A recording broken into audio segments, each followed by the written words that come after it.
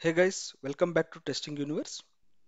As part of our Selenium exceptions and error series, in this video we are going to resolve invalid selector exception.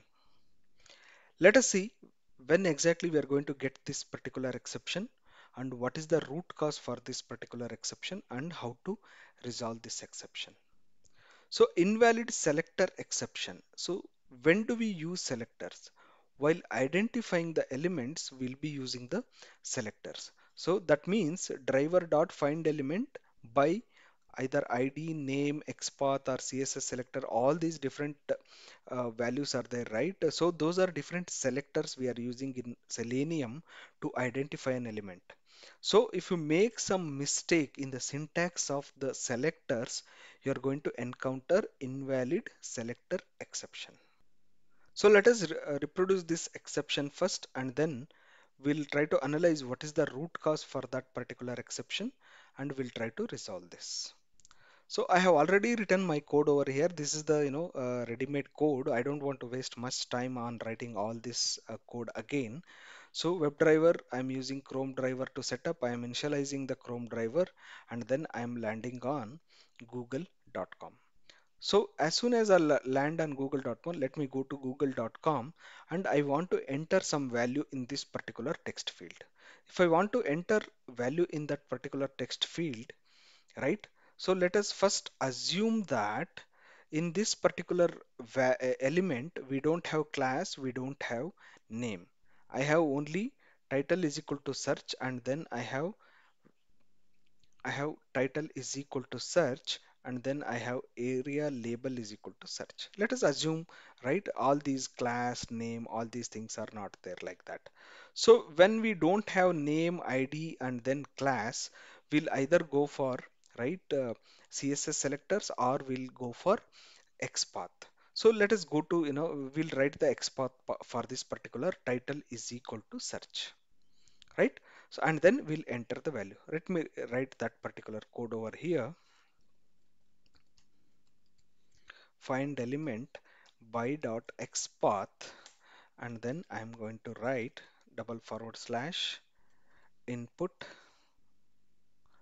at the rate title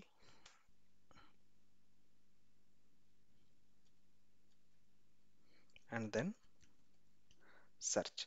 The value of the title is search. Okay. And dot send keys. I will be writing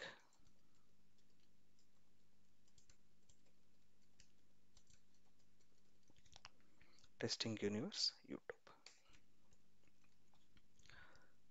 Right? So I have written this and then I am entering the value. Let us just run this. So it's going to open Chrome browser and then it is going to land on google.com and it will enter the value in the text box testing universe YouTube. But it didn't enter at this moment. We might have some exception. Let us go over here and then we'll see what is the exception. You can see over here we have got one exception that is called org openqa selenium invalid selector exception.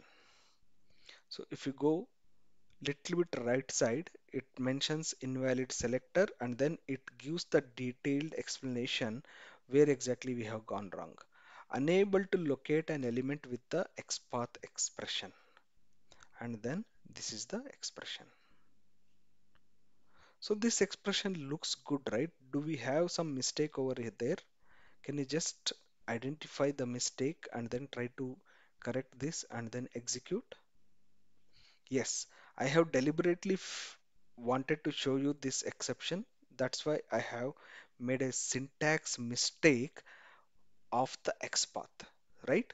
So whenever uh, we write XPath, it is double uh, relative XPath, it is double forward slash and then you will have a bracket over here and then if you want to have some value then we are having a bracket and then we are closing only one bracket we are not closing the another bracket if we close the second bracket, then this will not fail. So I will run it again.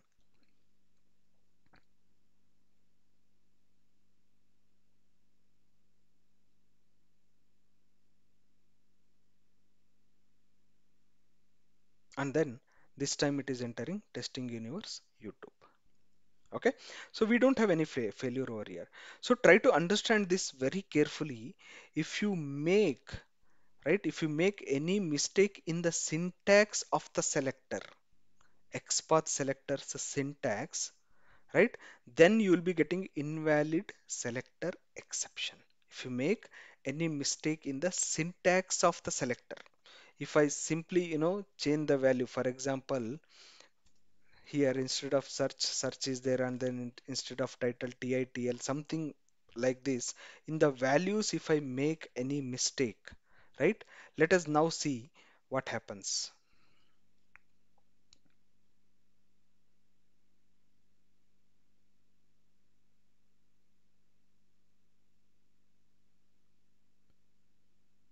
It has loaded google.com again we have got an exception. So is it invalid selector? No. You can see here no such element exception. No such element means our syntax is correct but the value you are looking at is not correct. So you should know the difference between no such element and invalid selector exception. So that's why i'm i know uh, repeating it again. If you make the mistake in the syntax of the selector then you will be getting invalid selector exception so that is how you can identify and resolve the exception which is called invalid selector exception.